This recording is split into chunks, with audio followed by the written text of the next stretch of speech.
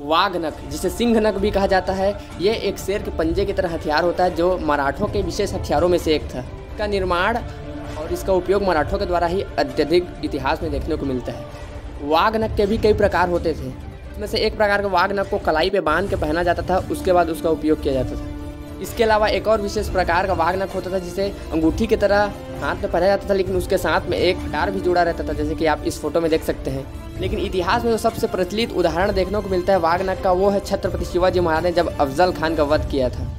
जिस वाघनक से छत्रपति शिवाजी महाराज ने अफजल खान का वध किया था, वो अंगूर रत्नों से जड़ित वाघनक था, जिसे अंगूठी के भांति उंगलियों में पहना जा सकता था। और मुट्ठी बंद करने पर यह छुप जाता था और दिखाई नहीं देता था। मुट्ठी खोलने पर यह किसी सिंह के पंजे की भांति ही बाहर आता था।